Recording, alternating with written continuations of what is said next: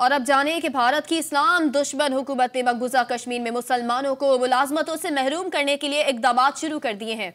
जबकि भारतीय हुकूमत ने मकबूजा कश्मीर में गैर कश्मीरियों को मुलाजमतें देना शुरू कर दी हैं। मकबूजा जम्मू कश्मीर में और लद्दाख में मुलाजमतें कश्मीरियों तक महदूद नहीं रखा गया है।